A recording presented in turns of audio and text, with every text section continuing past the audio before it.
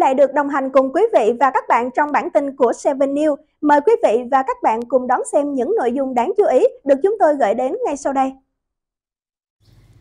Phát hiện xe khách dán tem kiểm định giả, nhiều nhét 73 người.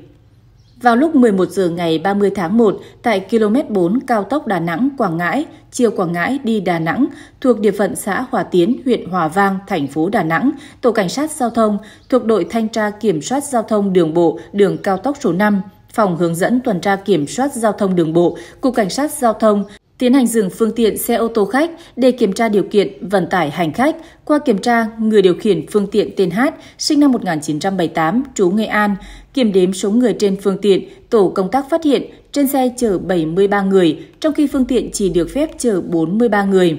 Kiểm tra thêm về điều kiện an toàn của phương tiện, tổ công tác phát hiện tem kiểm định trên phương tiện không có đầy đủ thông tin, có dấu hiệu của việc không phải do cơ quan có thẩm quyền cấp tổ công tác đã lập biên bản hành vi vi phạm của lái xe H, đồng thời yêu cầu lái xe chấm dứt hành vi vi phạm và bố trí phương tiện khác đủ điều kiện vận tải để thay thế. Hiện vụ việc đã được bàn giao cho cơ quan cảnh sát điều tra Công an huyện Hòa Vang, thành phố Đà Nẵng để tiếp tục điều tra làm rõ hành vi làm giả tài liệu, con dấu của tổ chức cá nhân và xử lý theo quy định. Tai nạn liên hoàn xe máy, nhiều người bị thương. Đến 19 giờ ngày 30 tháng 1, Công an quận Bình Tân, thành phố Hồ Chí Minh mới xử lý xong hiện trường vụ tai nạn liên hoàn giữa ba xe máy, khiến ba người bị thương, trong đó hai người phải nhập viện cấp cứu. Tin cho hay, hơn 16 giờ cùng ngày, người dân tại đường số 7 khu công nghiệp Vĩnh Lộc, phường Bình Hưng Hòa B, quận Bình Tân, thành phố Hồ Chí Minh nghe tiếng động mạnh ra xem thì thấy ba người gồm một nam và hai nữ bị thương nằm trên đường. Cạnh đó là các xe máy hư hỏng. Bảo vệ khu công nghiệp có mặt hỗ trợ đưa hai người nữ bị thương nặng vào bệnh viện cấp cứu. Ghi nhận tại hiện trường, cả ba xe máy đều hư hỏng, trong đó phương tiện hai xe máy nằm chồng lên nhau, cách xe còn lại một đoạn ở hướng ngược lại. Nhận tin báo, Công an quận Bình Tân, thành phố Hồ Chí Minh đến xử lý hiện trường, lấy lời khai, trích xuất camera an ninh. Lực lượng chức năng đo nồng độ cồn người nam liên quan để phục vụ công tác xử lý, làm rõ nguyên nhân vụ tai nạn xe máy liên hoàn. Tết ngại đi khám, một phụ nữ chịu đựng tam tre cắm trong ruột suốt cả tuần. Thông tin từ Bệnh viện Đa khoa tỉnh Quảng Ninh cho biết, trong ngày làm việc đầu tiên của năm mới, các bác sĩ khoa thăm dò chức năng của bệnh viện đã gấp thành công một chiếc tam tre nhọn dài khoảng 3cm xuyên thủng tá tràng của nữ bệnh nhân 56 tuổi. Đáng nói, bệnh nhân đã đau bụng suốt từ 30 Tết nhưng ngại đi bệnh viện vào dịp Tết nên đã chịu đựng cơn đau, hết Tết mới đi khám. Lúc này dị vật đã cắm trong ruột, khiến vết thương có dịch mù. Bệnh nhân là bà Hát, 56 tuổi, trú Quảng Ninh, có biểu hiện đau bụng âm ỉ, đau nhiều khi vận động từ 30 Tết. Tuy nhiên bà Hát không đi viện mà cố chịu đựng.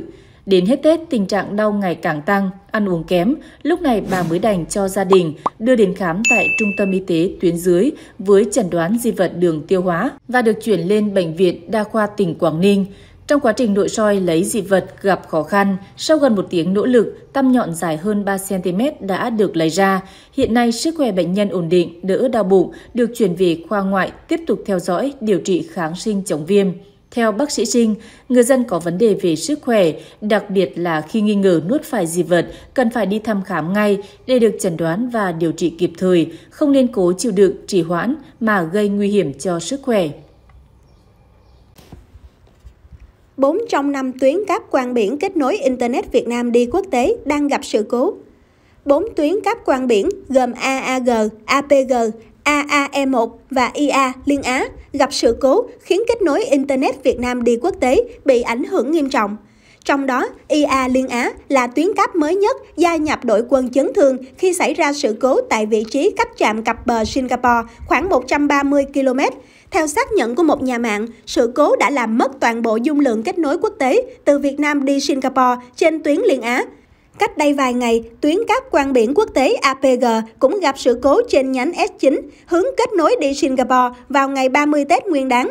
Sự cố cũng làm mất toàn bộ dung lượng cáp APG hướng kết nối đi Singapore và Nhật. Trước đó, hai tuyến cáp quang biển khác là AAG và AAE1 đều đã gặp sự cố từ cuối năm 2022 và cho đến nay vẫn chưa khắc phục xong. Như vậy, tính đến thời điểm này, 4 trên 5 tuyến cáp quang biển kết nối Internet Việt Nam đều đang gặp sự cố. Tuyến cáp quang biển duy nhất khỏe mạnh là SMW3. Các nhà mạng đều cho biết đã triển khai các giải pháp định tuyến sang các tuyến cáp quang trên đất liền để giảm thiểu ảnh hưởng đến người dùng trong nước. Tuy nhiên, việc 4 trên 5 tuyến cáp quang biển đồng loạt gặp sự cố khiến kết nối Internet Việt Nam đi quốc tế bị ảnh hưởng nghiêm trọng. Người đàn ông đâm chết vợ của cai thầu xây dựng rồi bỏ trốn. Công an tỉnh Bình Dương chiều 30 tháng 1 cho biết đang truy tìm đối tượng Trần Phi Hùng, sinh năm 1984, quê Sóc Trăng, để điều tra về hành vi giết người.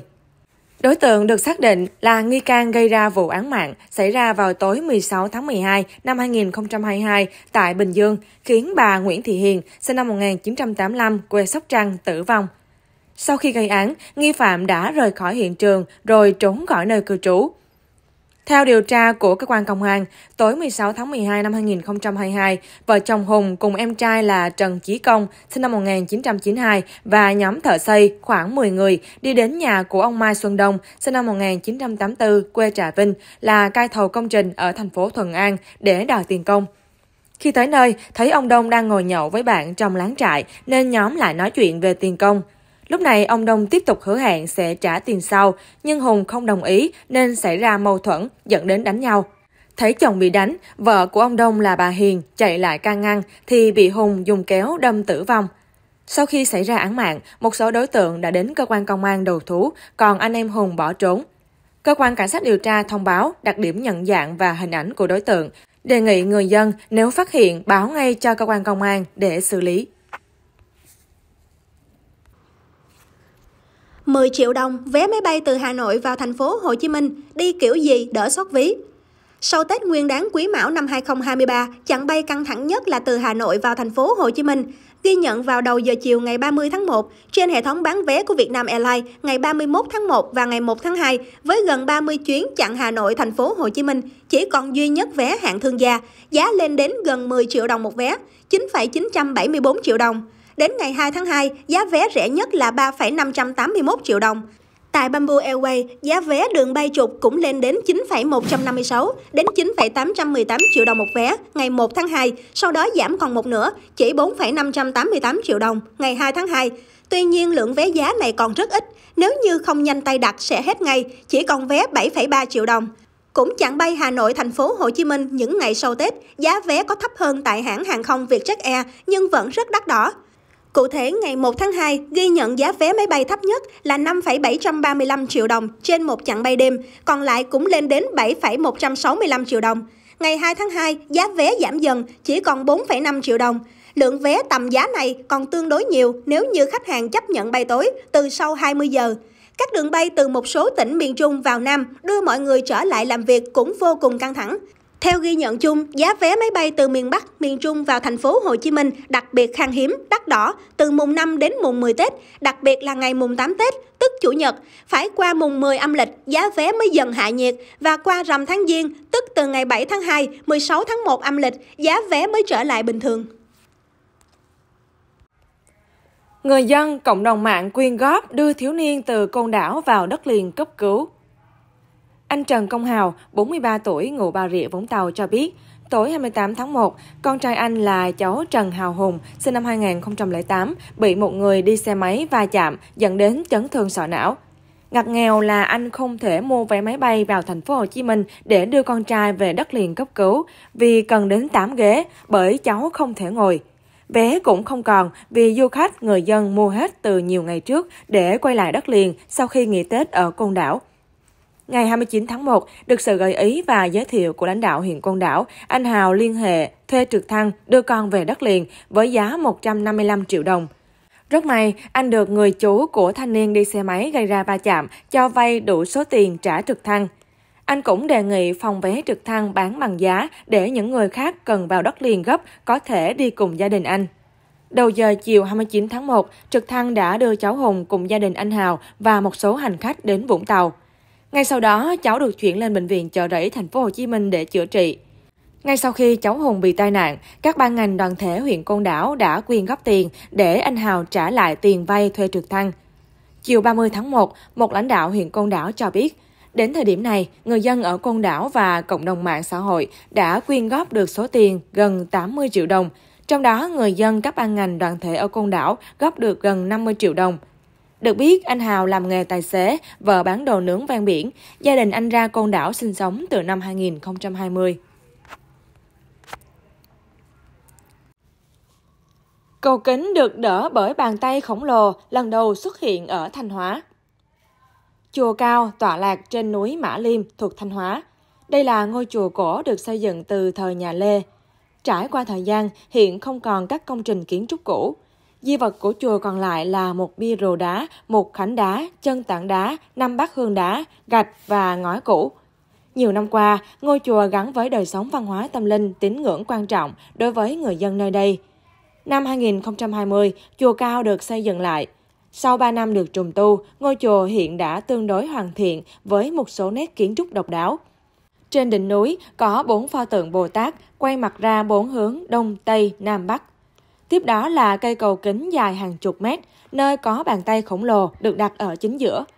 Đây là cây cầu kính đầu tiên xuất hiện ở tỉnh Thanh Hóa. Kể từ khi bắt đầu xây dựng, cây cầu ở chùa Cao đã thu hút sự chú ý của cộng đồng. Hiện các hạng mục như tượng Bồ Tát, cầu kính, đường lên chùa cơ bản được hoàn thành. Theo lãnh đạo Ủy ban Nhân dân xã Hà Lĩnh, huyện Hà Trung, chùa Cao có quy mô rộng 5 hecta nằm trên núi Mã Liêm. Dịp Tết Nguyên đán Quý Mão 2023, mỗi ngày chùa Cao đón hơn 1.000 khách thập phương về du xuân, vãn cảnh. Vừa nhận mẹ vợ, anh chàng liền mang tráp sang, xin cưới nhanh kẻo lỡ. Cách đây vài hôm, dân tình đã không khỏi xôn xao trước màn ra mắt nhà gái đầy thành công của chàng trai nhân dịp năm mới. Theo đó, sau khi đã ăn uống xong xuôi, anh chàng đến bên cạnh mẹ của bạn gái rồi mạnh dạn tươi cười chào hỏi. Điều đáng nói đến đó chính là cách mà nam thanh niên chuyển đổi cách xưng hô cực mượt khiến cả bạn gái lẫn họ hàng của cô đều bất ngờ. Hôm nay có đầy đủ cô, chị với cả các bác. Con xin phép đầu xuân năm mới chúc các bác, các chị và các em mạnh khỏe. Với cả con cũng có tin vui là năm mới con xin phép không gọi bác L là bác nữa mà gọi là mẹ, mẹ vợ của con. Con sủng con cũng xin gọi chú là bố, chàng trai nói. Sau màn nhận mẹ vợ đầy ấn tượng này, nam thanh niên đã nhận được chữ duyệt cực lớn từ phía người nhà của bạn gái. Và dường như là chỉ chờ có được sự chấp thuận này, anh chàng đã ngay lập tức về nhà sửa soạn sính lễ để rước nàng về dinh.